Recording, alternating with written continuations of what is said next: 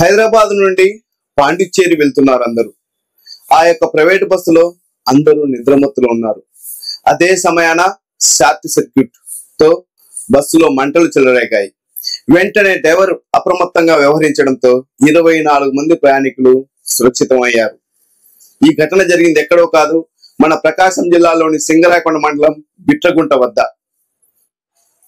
వెంటనే సమాచారం అందుకున్నటువంటి సింగరాయకొండ సిఐ రంగనాథ్ ఆధ్వర్యంలో స్థానిక పోలీసులు వెంటనే ఘటనా స్థలానికి చేరుకుని అగ్నిమాపక సిబ్బంది చొరవతో మంటలను ఆర్పివేశారు.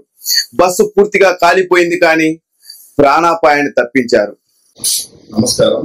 రాత్రి ఒంటి గంట సమయంలో మోజో ప్రైవేట్ ట్రావెల్స్ సంబంధించినటువంటి బస్ ఇరవై ఐదు మంది ప్యాసింజర్లతోటి మరియు ఇద్దరు డ్రైవర్లు హెల్పర్ తోటి హైదరాబాద్ నిన్న ఆరు గంటల సమయంలో ప్రారంభమయ్యి పాండిచ్చేరి వెళ్తుంది.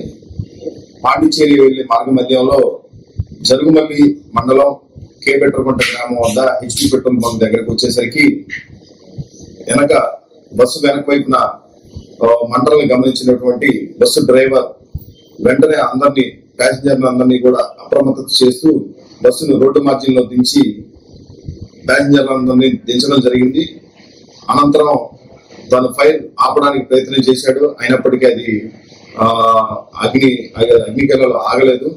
వెంటనే ఫైర్ ఇంజిన్ తదితర హైవే పెట్రోలింగ్ వాళ్ళందరూ పోలీస్ తదితర సిబ్బంది అందరూ వచ్చినప్పటికీ కూడా బస్సు పూర్తిగా దగ్ధం అయిపోయింది. దానిలో ఎటువంటి ప్రాణ నష్టం లేదు. డ్రైవర్ అప్రమత్తంగా ఉండి అందరు ప్యాసింజర్లను దించడం వల్ల ఎటువంటి ప్రాణ నష్టం జరగలేదు. డ్రైవర్ని పోలీస్ వారి తరఫున అభినందిస్తున్నాము అదేవిధంగా ఫైర్ ఇంజిన్ వాళ్ళు వెంటనే వచ్చి ఫైర్ సర్వీస్ వాళ్ళు హైవే ఫైర్ సర్వీస్ వాళ్ళు వెంటనే వచ్చి ఆ యొక్క బస్సు బస్సు మంటలు ఆర్పడం జరిగింది.